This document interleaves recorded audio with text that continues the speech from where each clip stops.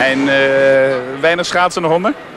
Nou, dat komt straks nog. Ik, ik moet nog een paar dingen aan de bak mee, dus ik zal nog wel even moe worden vanavond. hey, dit is jouw afscheid. Had je dat ook zo verwacht? nou ja, als je begin van je carrière staat, dan denk je daar niet zo bij na. Maar als het eind dan verder in zicht komt, dan ga je er wel een beetje aan denken. En dan hoop je dat het wat moois wordt. Maar zoals het er nu uitziet, dat wordt denk ik voortreffelijk. Ik kan niet beter denken. Hele gekke vraag misschien naar jou. Heb jij een goede raad voor Yvonne?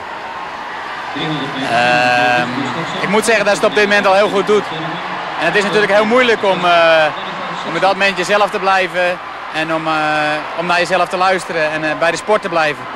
Ik heb zelf meegemaakt dat ik heb een jaar mijn kop laten gaan en dat ik het moeilijk kreeg. En ik denk dat Yvonne er op dit moment al een hele hoop van geleerd heeft. Ze heeft dezelfde begeleider als ik, Ron Mulder. En ik denk dat Ron ook daarvan geleerd heeft. En dat nu met Yvonne anders aanpakt. Ik denk dat ze in dat opzicht beter tot de recht blijft komen als dat ik dat op dat moment werd. Jij bent er in ieder geval wel een beter mens van geworden.